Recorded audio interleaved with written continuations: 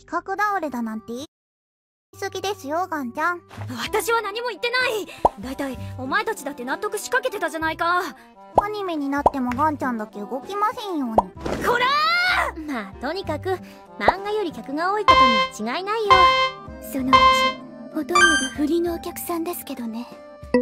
買わない客はただの客だ。でも見られてるって思うだけでも緊張する。バカ。普段ばいいんだよ。このアニメは女の子の可愛さをお楽しみいただくため邪魔にならない程度の差し障りのない会話をお楽しみいただく番組です。でも普段通りって結構難しいよね。みんな普段何してる？つまんねえこと聞くなよ。買い物とか？本読んだりネットしたり。寝たりそれ普段してることになる？まあなるだろうな。寝るのは大事だしな。じゃあ普段食べたり飲んだりしてる。あるね。あるある。息したり。あるね。あるある。寝たんだりそねんだり。あるね。あるわね。えよもっと前向きに生きようよ普段してることって言ったら生きる。大雑把すぎるだろ。でも基本的には結局食べることと寝ることあとはあとは話す。だろうね。あれ？だから話し方だけにクーネル話す。ねえみんな。普段何食べてる？つまんねえこと聞くなよ。普段のこと話せば普段通りになるかと。普段から食べるって言えば牛丼かな？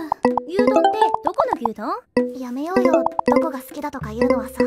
めんどくさいことになりかねないし。でも特定して宣伝すればタダで食べられるかもよ。それがめんどくさいって言うんだよ。牛丼最初は入りにくかったな。なんで？男の人が多いしおしゃれすぎても構わなすぎてもいけないし目立たないように浮かないようにって。ああ微妙な TPO がある感じんなもん好きな格好で行けばいいんだよ。普段着でいいよ。普段着で。話の腰を出すみんなにパーティーの招待状が来てるよ。招待状？腰折ってないじゃない。ん？ほらここ。普段着でお越しください。普段着。普段着。普段着。普段着。普段着ってどれくらいの普段着？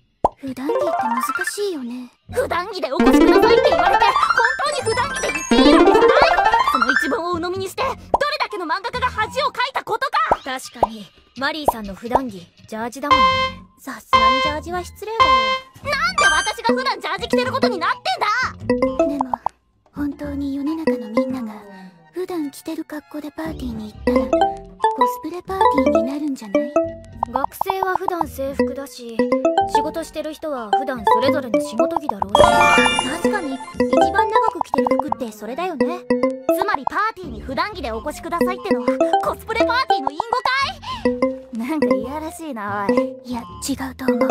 大体そんなにバラエティに富んだ職業や人脈のある人そういないでしょ普段着って仕事着ではないだろうし。だと日によって違うけど。普段着って言うなら毎日決まって着てるものの方がいいんじゃないの？それだ！おおう。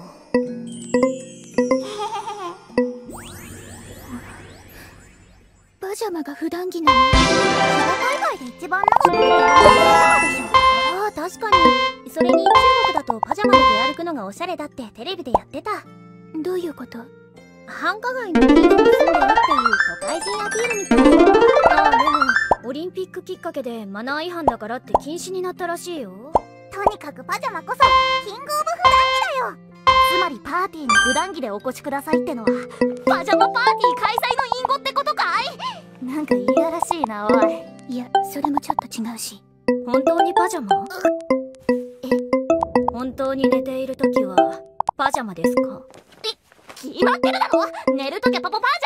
ャマ越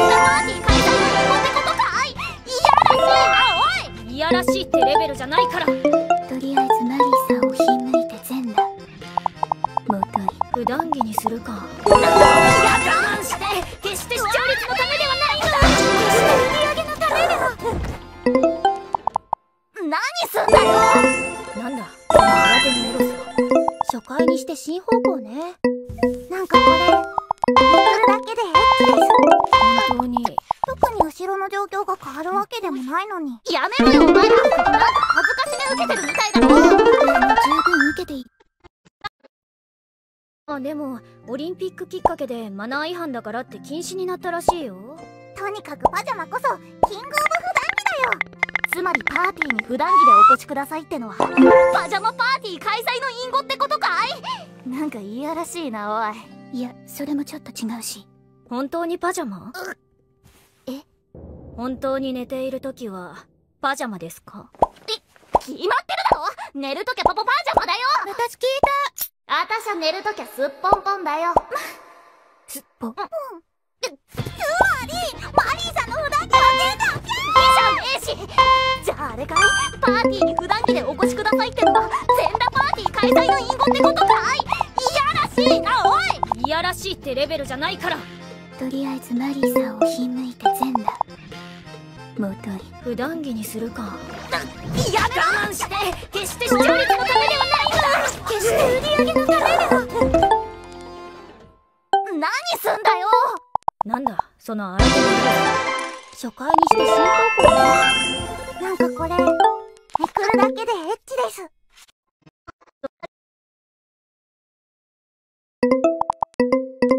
ことか！確かにマリーさんの普段着ジャージだものね。さすがにジャージは失礼だよ。なんで私が普段ジャージ着てることになってんだ！でも本当に世の中のみんなが普段着てる格好でパーティーに行ったらコスプレパーティーになるんじゃない？学生は普段制服だし仕事してる人は普段それぞれの仕事着だろうし。一番長く着てる服ってそれだよね。つまりパーティーに普段着でお越しくださいってのはコスプレパーティーの隠語かい？